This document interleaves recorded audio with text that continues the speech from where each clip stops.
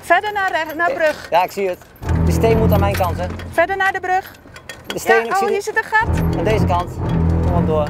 Oh, ik dacht aan die kant. Nee, Oké. gaat goed, gaat goed. Yes, perfect. Niks vergeten, klepjes Helemaal goed. goed, kleppen dicht. Hopsa.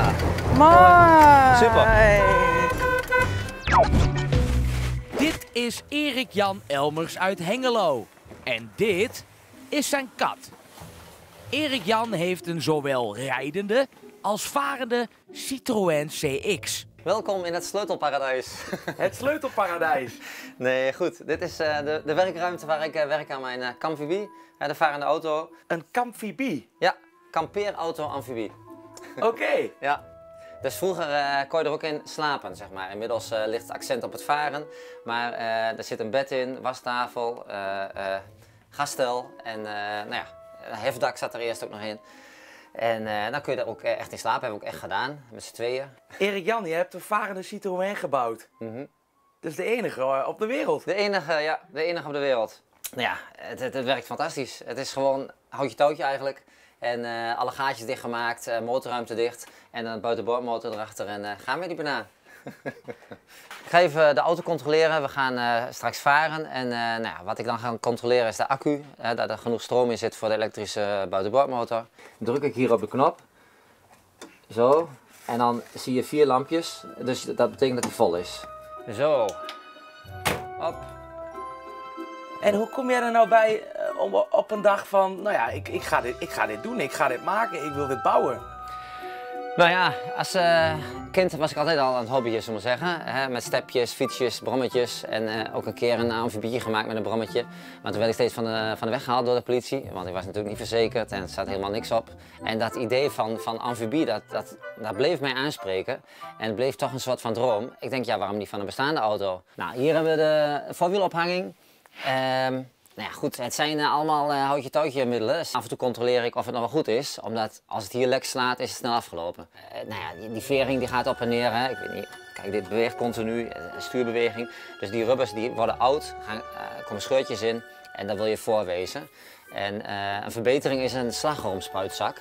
Maar zoals, die zakken zijn heel degelijk, zijn heel dun. Het is eigenlijk weefsel met een coating. Zijn waterdicht. Nou, zal even starten. Kijken of hij nog loopt. Altijd de vraag, hè?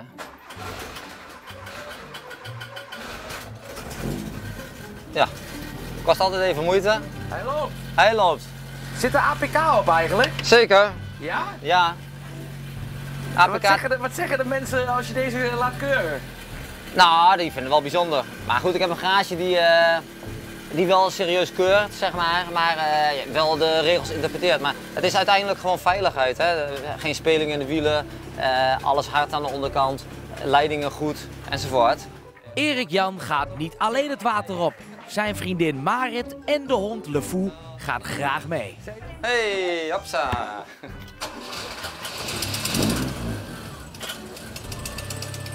En deze zag ik eerlijk gezegd uh, niet helemaal aankomen, Erik Jan, maar hij is te koop. Ja, dat klopt inderdaad. Uh, ja, goed, het is uh, toch elk jaar veel sleutelwerk. En uh, nou ja, ik vaar al 20 jaar en op laatste denk je ook van ja, goed, uh, wat wil ik? En het is ook leuk om een keer weer andere dingen te doen.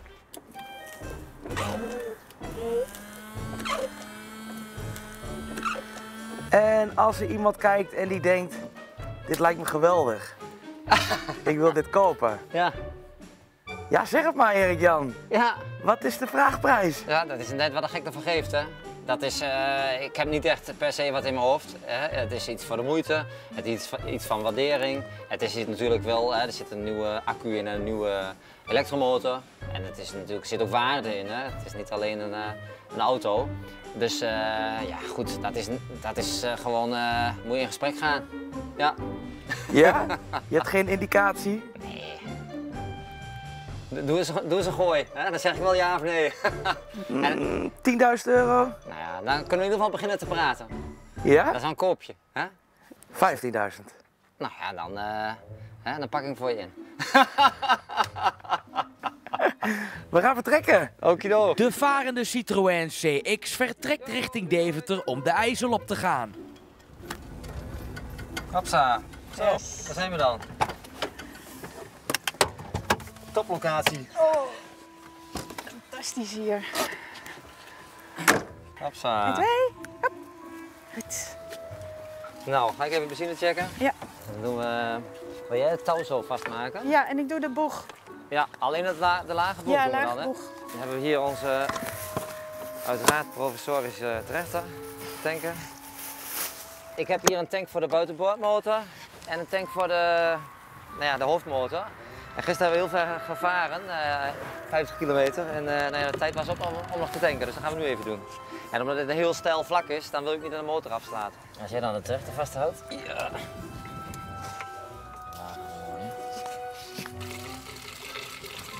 Dan doen we gewoon eh, het meeste hierin en een klein beetje in de automotor. Ja, daar zit een randje. Ja. En dan hebben we hier nog een boegtouw, dat maken we altijd vast aan de, aan de boeg dus.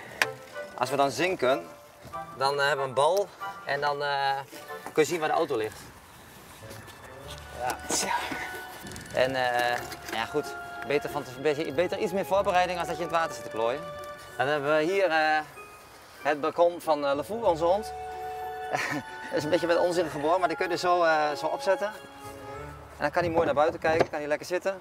Oké, even een laatste controle. Dan hebben we hier de drain zit erin, boegtouw. Tussen de koplampen nog een klepje. eh, voor de koelwind als je rijdt. Maar het is wel fijn als die dicht is als je vaart. Dus dan gaan we eventjes eh, ons parcours uitzetten. Kijken hoe we er een beetje fatsoenlijk in kunnen. Want het is eh, wel een beetje ambitieus hier. maar goed, hier is het ook nog wel aardig hobbelig. Hè? En stijl. Dus ik rijd dan zo achterwaarts. Hier zo tussendoor. Ja. Ja. Ja, je, overal zijn drempeltjes. Maar ja, dit dit, dit, kan- kan dit wel is de beste lijn, denk ik. Ja. Kijk, en dan zo een beetje schuin, hè? Is echt serieus stijl, hè? Onder water ook. Kijk, dit is een, mo- een mooi strand bij de waterlijn, zeg maar. Ja, goed, en anders moet je die drempels gewoon pakken en dan stapvoets. Dat Precies. kan ook, hè? Ja. Hier tussen deze bosjes door. Oh, ga mee. Ga lekker varen. Iets meer, iets. En ook op tijd zeggen dat het niet kan, zeg maar. Ja, zeker. Pas op voor je balkonnetje. Ja, Oh ja. Een beetje al insturen. Ja, begin maar vast. Ja, ja. Verder naar, recht, naar brug. Ja, ik zie het. Die steen moet aan mijn kant, hè? Verder naar de brug. De steen, Ja, oh, zie hier die zit een gat. aan deze kant. Kom op door.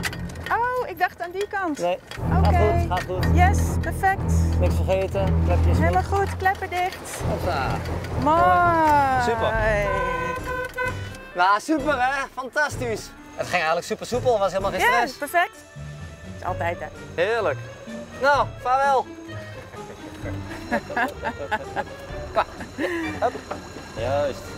Goed zo. Mooi, hopsa. Yes. Ja, gezellig hè? Ja, je hebt het beste van twee werelden natuurlijk. Met een Citroën Zoefje over de weg. Kun je heerlijk cruisen, zeker hier op die dijkweggetjes. En eh, nou ja, als je zin hebt, dan pak je gewoon ergens water. En dat is ook fantastisch. Dus je hebt geen boot nodig. Je hebt gewoon maar één ding. En, eh, en dat is zowel boot als auto tegelijk.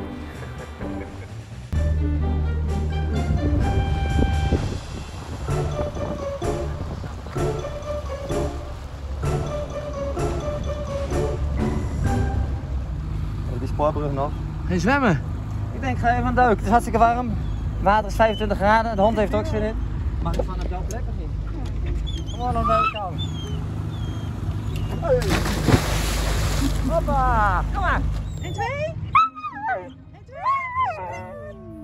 Spring. Spring. Hij wil zo graag. Hup. Spring. Kom maar. Hup, Spring.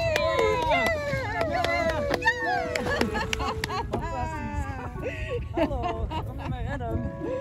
Goed zo. Goed gedaan, kerel. Goed gedaan, Makker. Ja, deurtje open. Kom maar. Ga er maar in. Zet hem op. Mooi. Joehoe. Oh.